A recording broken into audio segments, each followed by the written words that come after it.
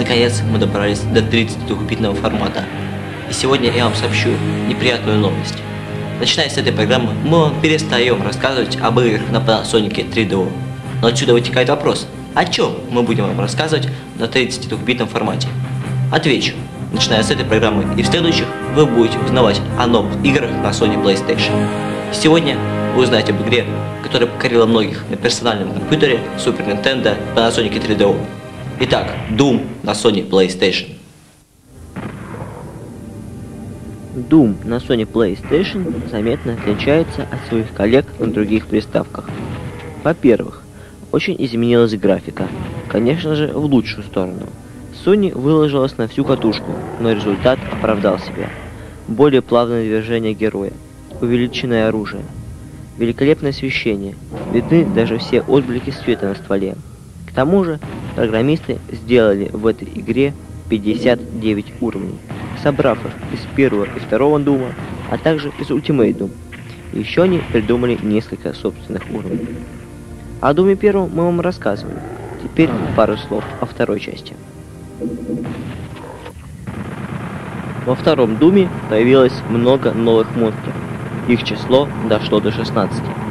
Оружие со времен первой части осталось почти без изменений. Добавились только двухстволка убойной мощности.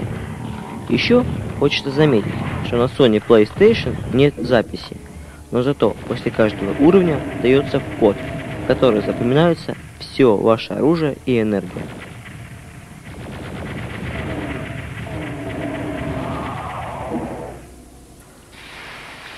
Монстры обычно не блещут умом. Исключение составляет только кибердемон, который, увидев вас, станет стрелять из базуки, а если вы убежите от него, то он просто начнет вас преследовать. Остальных демонов вы сможете легко победить, хотя не всегда. Например, поставьте сложность Ultra Violence, дойдите хотя бы до 10 уровня, и когда на вас набросятся так примерно 300 монстров, сразу спросите себя – а вообще, нужны ли им мозги? А еще говорят, что перед смертью открывается истина.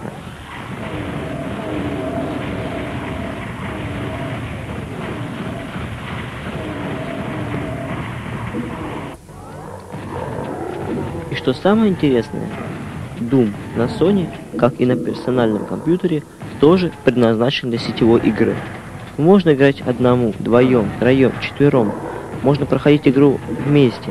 Ну и, конечно же, существует всеми любимый Dead Match. Одним словом говоря, Doom на PlayStation переплюнул всех своих собратьев на других приставках, как количеством уровней, так и великолепной графикой и звуками.